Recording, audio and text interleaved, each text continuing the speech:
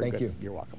Just as Spartan Athletics will be a big boost for MSU, a groundbreaking on the university's campus today stands to benefit mid-Michigan and the entire state.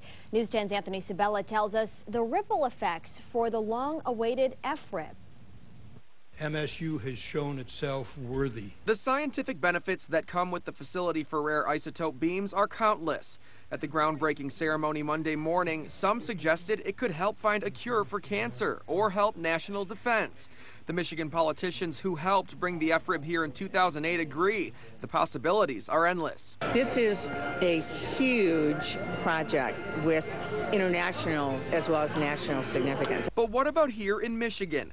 Senator Debbie Stabenow says the economic impact will be felt immediately and down the road. 5,000 construction jobs, 400 permanent jobs, unlimited number of students that will have an opportunity to come through and work with the most sophisticated science research equipment. Along with it, an estimated billion dollars to the mid-Michigan region in construction and funding.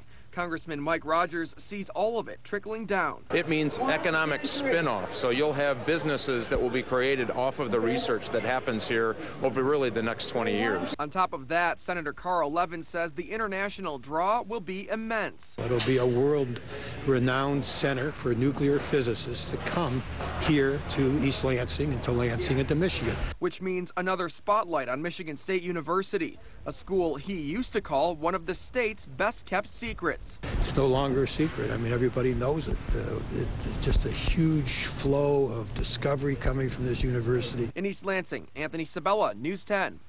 The FRIB's chief scientist told us more than 1,300 scientists from around the world have already signed up to use the facility when it opens no later than 2022.